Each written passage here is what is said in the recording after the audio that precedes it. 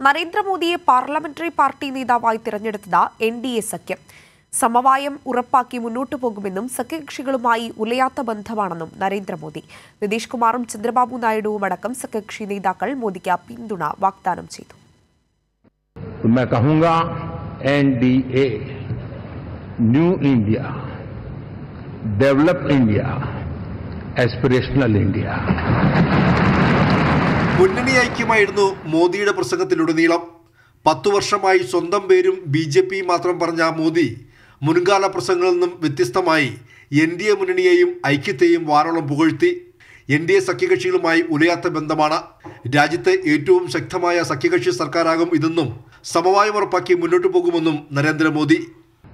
Alliance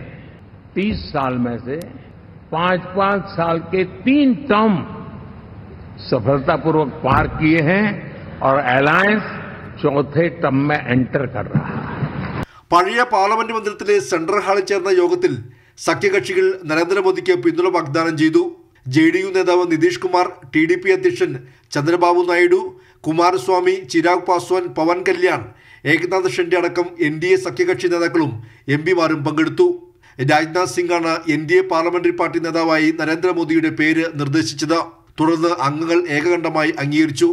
Nitish കുമാറും ചന്ദ്രബാബു നായിഡുവും നരേന്ദ്രമോദിക്ക് പിന്തുണ പ്രഖ്യാപിച്ചിട്ടുണ്ടെങ്കിലും മന്ത്രിസഭാ രൂപീകരണത്തിൽ കടുത്ത നിബന്ധനകളാണ് മുന്നോട്ട് വച്ചിരിക്കുന്നത്. ഈ സാഹചര്യത്തിലാണ് മുന്നണിയെ ഉയർത്തിക്കാട്ടി മോദിയുടെ പ്രസംഗം. കൈരളി ന്യൂസ് ദില്ലി.